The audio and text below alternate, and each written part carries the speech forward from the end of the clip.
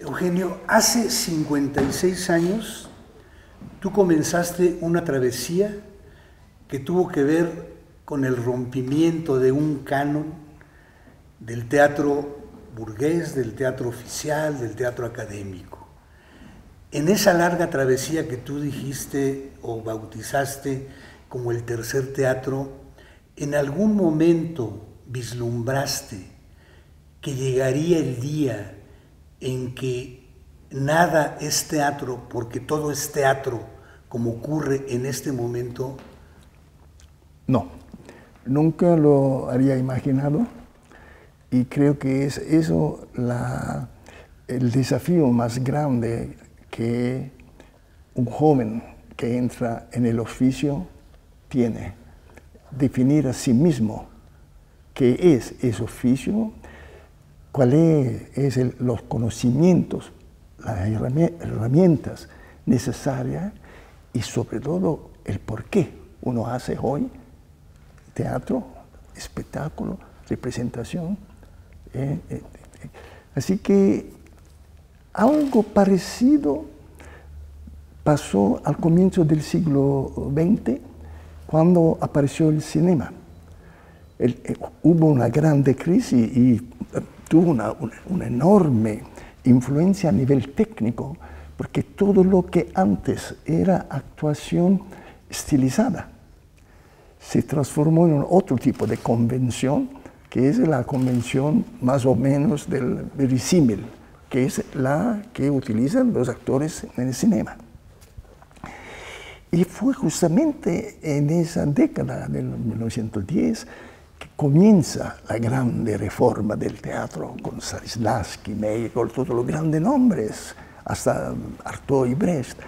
Así que uno puede imaginar que una nueva generación llegue y transforme esa, ese, ese oficio que al comienzo surgió como una empresa o, eh, de, comercial, era de, vender espectáculos e entretener a la gente. Así comenzó el teatro. El teatro es de por sí tiene un alma de, eh, de económica, eh, financiera.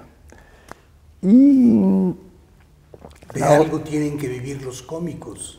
Todo el tiempo. Así que esto del teatro es especie de como de complejo de superioridad, casi moralismo, así eso es comercial. Evidente, la, independencia de Ludini, cuando tú me, me dijiste que comenzaste a luchar contra el teatro burgués, no, porque el teatro burgués era lo único que yo sabía, que yo conocía a ese tiempo, era lo único que existía. Y, y, había los eh, aficionados. Pero ya habías estado con Grotowski. Sí, pero Grotowski era, trabajaba en un país socialista, financiado por el Estado. nunca él tuvo un problema económico con Grotowski. Cuando yo estudiaba con él, como también en la Escuela Teatral de Polonia, yo nunca discutí de problemas económicos con los, con los artistas polacos porque el, el Estado los financiaba todo. que siempre tuvo lo que... Él tenía problemas con la censura, con el partido, que decía que sus, sus, espectáculos no, no reflejaban la, eh, la ideología o el nuevo pero, hombre. Eh, o el nuevo hombre. pero él nunca tuvo problema económico. Y solo cuando yo dejé Polonia y quise trabajar en el teatro tradicional, burgués, el único que existía, estamos en el año 1964, me di cuenta que, eh, que no tenía ni los conocimientos, ni el prestigio, ni un papel. Así que yo comencé como aficionado. Underground. ¿Cómo? Underground. Más que underground, los aficionados... Esa palabra todavía no existía. Todavía no existía, porque es en los años 68, 69 que en los Estados Unidos esta palabra surge. No, e, existía la, la cultura europea y también en América Latina, era de un teatro donde los actores lograban ganar su vida con sus espectáculos, y los aficionados que eran independientes porque económicamente pagaban de su propio bolsillo. Así, cuando el Odín comienza, comienza con un teatro aficionado, lo pagamos. ¿Cuál es, diría, la, si yo tenía que definir hoy, la, la, la, la novedad del Odín? Que el Odín comienza a pensar el teatro como una firma, como una empresa económica donde no se hace solo, no se gana solo teatro con espectáculos cada noche, comienza a hacer un montón de otra cosas. Comenzamos con los seminarios. Todos los workshops, los seminarios, los cursos, no existían en ese tiempo. Y créeme, era extremadamente difícil convencer gente como Dario Fo, un Grotowski y, todo lo que vinieron, Jean-Louis Barrault, eh, Lecoq, a ese tiempo que vengan a trabajar con, con eh, actores, no, con aficionados. No, porque no tenían dinero, eh, los aficionados no estaban interesados en todo eso. actores tradicionales, al comienzo, a Holstebro, en los años 66, 67, 68, cuando eh, eh, creamos esos eh, cursos, eran actores tradicionales que eran completamente asombrados de, de, trabajar sobre lo que es escondido, sobre el proceso, porque siempre se invitaban los espectáculos. Eso, de veras, Agustín Bru comienza lo que después se vuelve una característica de la nueva generación teatral que entra después del 1968, porque lo que muda totalmente eh, mi experiencia histórica es que hasta el 68 el teatro es, lo llama burgués tradicional. Había un teatro comercial extremadamente muy bueno. Dario Fo siempre hizo teatro comercial, por ejemplo. Así que, pero en el, la ola en todo el planeta de una generación que quiere abater la jerarquía y sobre todo los viejos, los viejos que dominan. Y ellos, es la, única vez en la historia del teatro que entra una generación que da al teatro toda otra visión o función, que el teatro es un medio transformativo que te transforma, o transforma la sociedad otros formas ti mismo.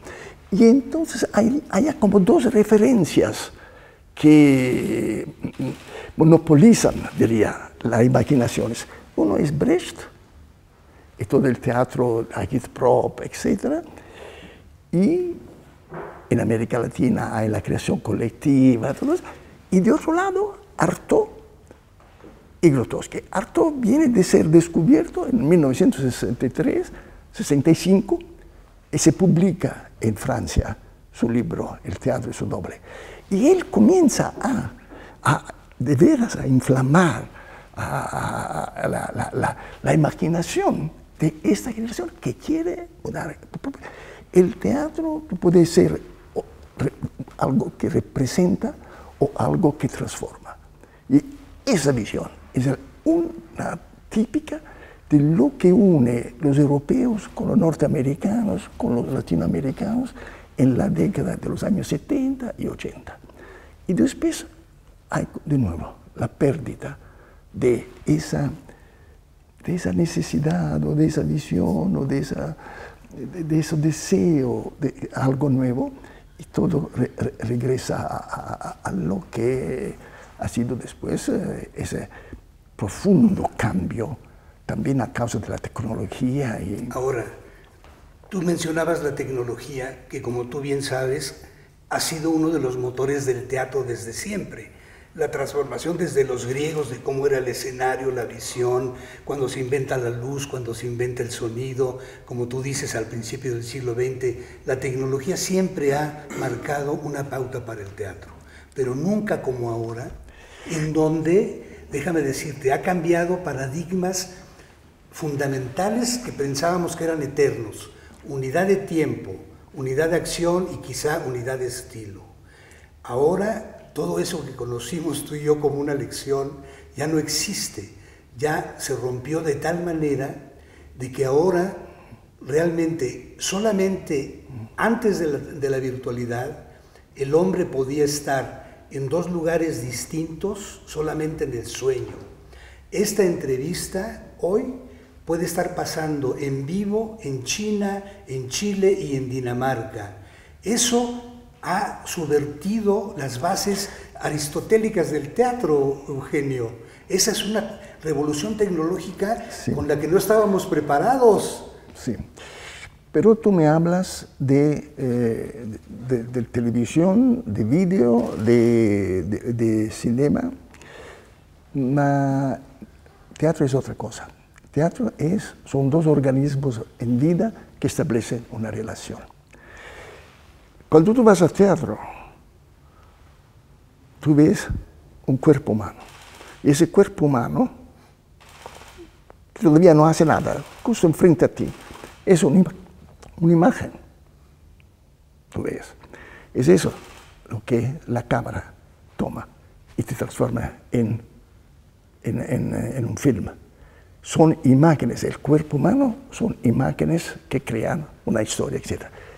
El teatro no es una imagen, el teatro toma ese cuerpo humano y lo transforma en un cuerpo en vida que es capaz de despertar todo otro tipo de energía en el espectador.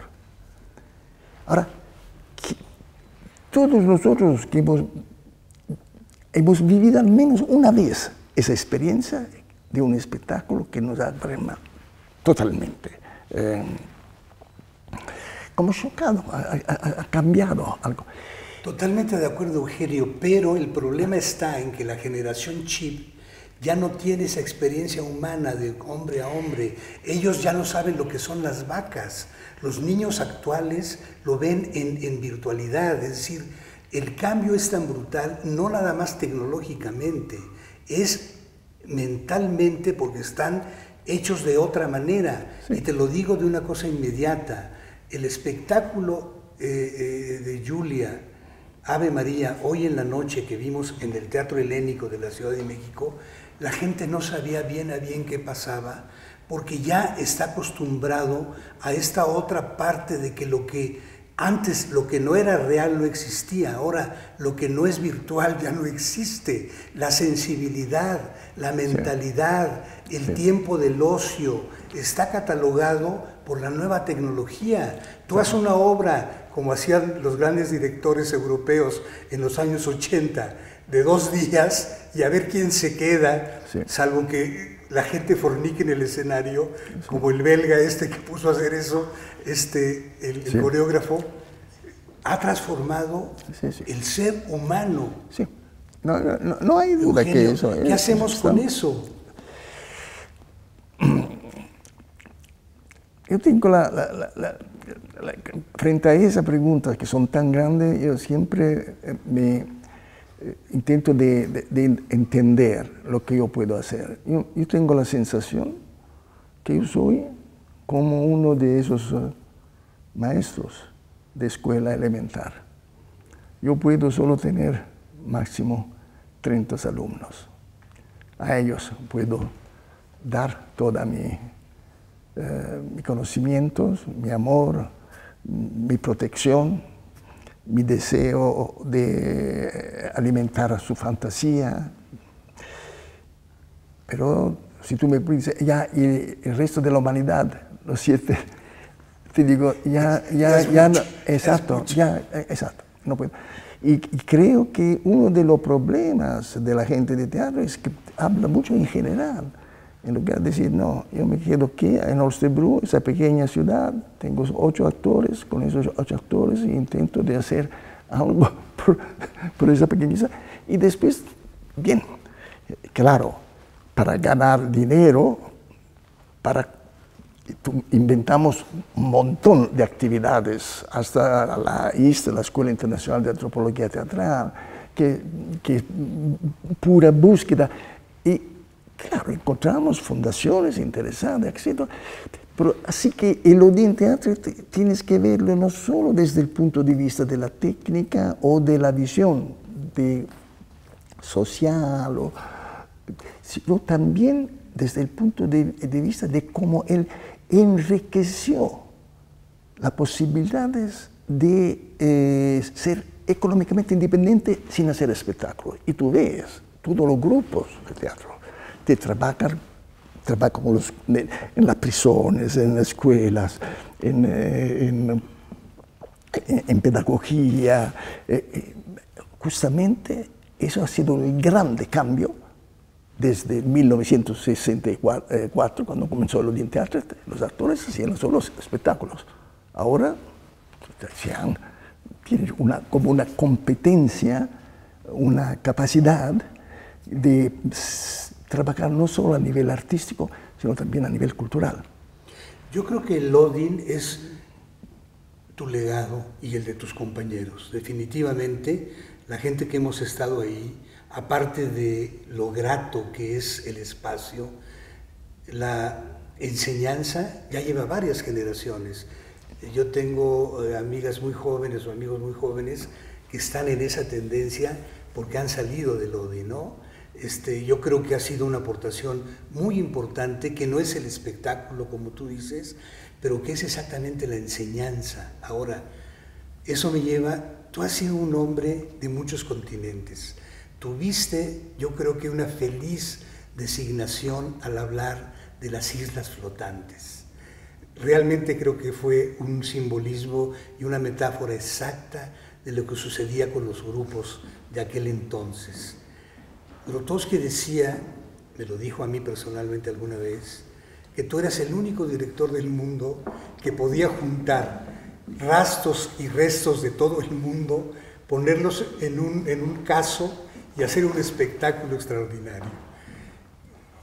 Siempre fuiste, tú has trabajado como obrero, como astillero, como maestro, como muchas cosas. Siempre has sido un hombre que absorbe otras culturas. Sí, porque yo pienso que viví una, experiencia que puede matar a un ser humano o al contrario eh, fortalecerlo, que es la inmigración y la pérdida de su idioma. Yo tenía 18 años cuando salí de Italia y me fui a Noruega y no hablaba ningún idioma extranjero. El latino, el griego antiguo que había estudiado al liceo clásico. Eh, así que durante casi un año antes de comenzar a, hablar bastante el noruego, me sentía un idiota y la gente me trataba como un idiota. Y eso me ha hecho apreciar la manera como, la, manera como la gente me habla, la entonación, cómo la gente está sentada, cómo se acerca de mí. Todo eso ha sido lo que me ha formado. Y al mismo tiempo, cuando he comenzado a leer la literatura noruega, se abrió todo otro mundo. De pronto me, di cuenta de cómo es todo ese, ese, nacionalismo, porque al final ese nacionalismo de, de, la, la, cultura italiana, etc. Sí, extraordinario, pero había poetas noruegos, tú leías Ibsen, después cuando comencé a leer sobre la, India, y para mí Latinoamérica fue siempre como, eh, eh, estar a casa. Había una, una amiga, cubana que dirigía la Casa de las Américas. Eh, eh, ¿Ahí de Santa María? No, no, no, no, era, se llamaba... Mm. Eh, ahorita, te acuerdas. Sí, ella me decía, Eugenio, tú eres un latinoamericano en exilio.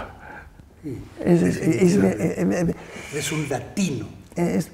sí, pero al mismo tiempo con, grande, con una grande grande cariño hacia los, escandinavos, eh, hacia los alemanes. Eh, claro, eh, ha sido tu segunda patria de alguna manera, Sí, sí. No, y, más que, parte son los individuos que he encontrado, porque he encontrado noruegos de una generosidad extraordinaria y noruegos que eran horribles porque eran racistas, cuando era marinero, de veras esos noruegos te, tratan como si tuviera mierda. Y lo mismo en, Latinoamérica. En Latinoamérica esa enorme generosidad y al mismo tiempo encuentras la... Así, pero no es eso. yo siempre, para mí, el teatro fue una, un oficio donde yo exigía, como un artesanado. Y, mi experiencia es, es, extraño, porque el Odín no se basa sobre mi experiencia con Grotowski, se basa sobre mi experiencia en el taller metálico, donde yo trabajé siete años como soldador. Y allá había el propietario, que cuando yo llegaba a las 7 de la mañana a trabajar, era pequeño, 7, 8 de nosotros. Ya estaba, él trabajaba juntos a nosotros. Él era la persona que sabía más. Cada vez que yo tenía un problema iba. Él controlaba todo lo que hacía.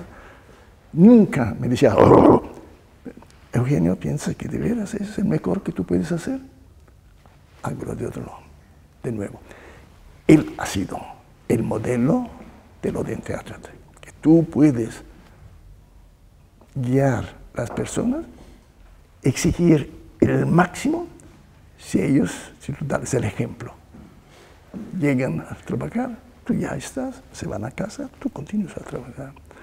El ejemplo es la única manera de hacerte aceptar a pesar que a veces puede ser muy eh, lleno de rigor lo que tú eh, exiges de tus eh, colaboradores.